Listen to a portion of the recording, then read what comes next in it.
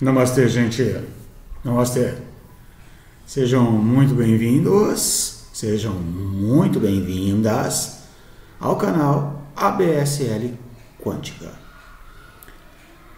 Aqui, né, para quem está chegando agora, aqui a gente trata de assuntos relacionados à mecânica quântica aplicada no nosso cotidiano.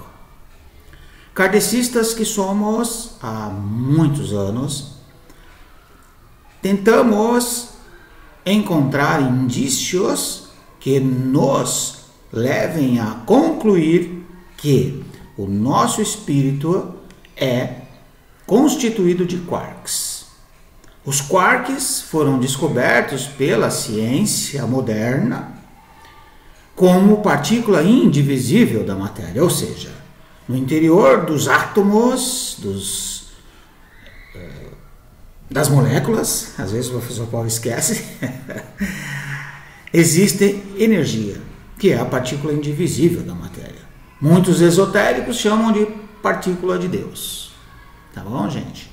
Então, assim, é, como kardecistas, que já falamos que somos há muitos anos, a gente obteve uma obra bem interessante que pode nos ajudar a entender essa mecânica do funcionamento do nosso espírito em interação com outros espíritos encarnados e também desencarnados. Tá certo, gente? Então, é, atualmente a gente está lendo, a gente já fez vários vídeos a respeito desses assuntos ali, tem vários vídeos no canal Dei uma maratonada aí nesse próximo fim de semana, sugestão da gente, tá? e atualmente a gente está lendo o livro dos Espíritos, de autoria do Allan Kardec, capítulo 10, e tratando do assunto a lei de liberdade, que é uma lei ampla. E o subtítulo está dizendo aqui, é, é, subtítulo não, o, o item aqui chama-se fatalidade. Aí o professor Povas faz o seguinte: lê e comenta, compartilhando um pouco da nossa experiência de vida e tenta contextualizar aqui com a leitura do, do que Allan Kardec, os médiums e os espíritos passaram para a gente aqui através do livro. Tá? Uma obra conjunta, foi um método científico que o Allan Kardec usou para codificar a doutrina espírita. É bom é, lembrar disso. Se fala muito em ciência, ciência, ciência. O Allan Kardec, pedagogo, usou um método científico onde vários médios em vários locais do país, provavelmente da França, é, receberam mensagens que, ao serem cruzadas, eram a mesma coisa. Por quê? Porque a origem é espiritual. O projeto era divino. Então, os espíritos que serviram de fonte de inspiração para os médiums eram todos conectados ao nosso Criador, ao nosso, ao nosso Criador de tudo e de todos. Né? No mínimo, há anjos, arcanjos, serafins que fazem a, assessoria espiritual para o, nosso planeta, os seres do nosso planeta, tá bom? Então, assim, olha, no tema fatalidade, a pergunta é a 851. Nos acontecimentos da vida existe uma fatalidade, segundo o sentido comumente ligado a este vocábulo, a pergunta. E tem um complemento aqui. Por outras palavras, todos os acontecimentos são pré-determinados? Mais uma. Neste caso, a que se reduz o livre-arbítrio? Três perguntas em uma só aqui. Vamos ver o que, que os espíritos respondem. A fatalidade existe apenas pela escolha que, ao encarnar-se, tenha feito o espírito para suportar esta ou aquela prova. Ou seja, ao encarnar, a pessoa já assume algum compromisso, algum risco que pode ser fatal. Escolhendo-a, ele se traça uma espécie de destino que é a consequência mesma da posição em que se acha colocado. Falo das provas físicas porque, no que tange às provas morais e às tentações, O espírito, conservando o seu livre-arbítrio sobre o bem e o mal, é sempre senhor de ceder ou de resistir. Aqui é o seguinte: independente do que se assume na encarnação, o livre-arbítrio vai te direcionar. Lembrando que o objetivo maior de cada um que está encarnado neste planeta é evoluir. Tá? Então, se você usa o livre-arbítrio para é, é, colaborar com essa evolução, com esse desenvolvimento moral principalmente, você está em sintonia com o universo. O universo te ajuda. Tá? É, vendo fraquejar, pode um bom espírito vir em seu auxílio, mas não pode influir ou influenciar sobre ele de maneira a subjugar a sua vontade. Ou seja, o livre-arbítrio é preponderante. Um espírito mau, isto é, inferior, mostrando-lhe ou exagerando-lhe um perigo físico, poderá abalá-lo e amedrontá-lo. Nem por isso fica menos livre de qualquer entrave à vontade do espírito encarnado. Ou seja, se você é uma pessoa que tem uma conduta não muito é, cristã, vamos dizer assim, você sofre influências de espíritos não muito legais. E aí seu livre-arbítrio vai para o vinagre, porque o espírito não muito legal não está preocupado com o seu livre-arbítrio. Pelo, pelo contrário, ele quer te escravizar de algum jeito, seja através de vícios, seja através de, de falas, de comportamentos diversos, tá bom? Então é, é fundamental manter a oração em dia, tá? Manter a oração em dia, meditação em dia. Abrirá um portal agora, dia 11 do 11. E aí eu e minha esposa, que trabalha com numerologia, né? De vez em quando, a gente fez as somas e dá 11, 11, somando com o ano, dá 11 também. Então, um portal super poderoso, nós já tínhamos informações a respeito disso. É uma grande oportunidade para nós nos concentrarmos na qualificação da nossa energia quântica, da energia quântica que habita nosso ser.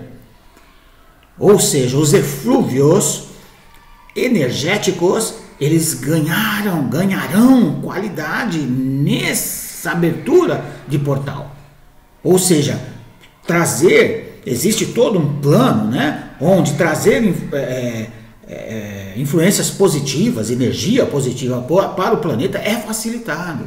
E nós, como co-criadores conscientes, imagem e semelhança de Deus, né, nós podemos receber isso, mas nós precisamos nos colocar em estado de abertura. Ou seja, aqueles palavrões que eventualmente a gente sempre fala no, no dia a dia, né? É, a gente dá um tempinho com aquilo. Né? Aqueles pensamentos de que eu quero que se ferre, eu quero ir. A gente dá um tempinho nesse dia. A gente tenta entrar em sintonia com o nosso eu superior. Né? A gente enxerga nossa, nosso sistema de chakras. O professor Paulo já falou sobre chakras, sete principais. Né? Tenta, em algum momento do dia, dar aquela parada. Na hora de almoçar, comer correndo, assistindo televisão. Não, você almoça. Muito obrigado, meu Deus por, por me dar este alimento aqui, por me proporcionar a possibilidade de me alimentar, que a energia desse alimento possa ser muito útil para a minha renovação pessoal. Porque não tem como, gente, ou você renova-se espiritualmente, individualmente, ou então a sociedade vai continuar nessa loucura que está. Essa madrugada, minha esposa acordou com gente gritando, pedindo socorro, gente, gente aqui usando arma branca. Não pode isso mais, gente. Né? A gente precisa vibrar no amor. O planeta está se transformando. Pessoas que agem dessa forma que eu citei agora há pouco não permanecerão no planeta. De alguma forma eles são retirados. Entendeu? Essa morte em massa que, que aconteceu com essa doença que não se pode falar o nome, será que foi ao acaso? Temos nossas dúvidas. Será que não foi já um plano divino para começar a selecionar os habitantes que permanecerão aqui neste planeta quando ele se transformar em um mundo de regeneração? Tá aí, vindo energia no próximo sábado. Aproveitem. De algum jeito, valeu? E Tá quase chegando em 10 minutos, mas não temos mais esse negócio de 10 minutos. Agora a gente está livre aqui. É, e mais uma só, tá, gente? 852. Criaturas que parecem perseguidas por uma fatalidade, independentemente de sua maneira de agir. Está a infelicidade no seu destino? Serão, talvez, provas que devam suportar por as haverem escolhido. Uma vez mais, levais a conta do destino aquilo que, as mais das vezes, não passa de vossa própria falta. Procurai manter uma consciência pura nos males que vos afligem e estareis meio consolado. E um comentário aqui. As ideias, justas ou falsas, que fazemos das coisas, fazem-nos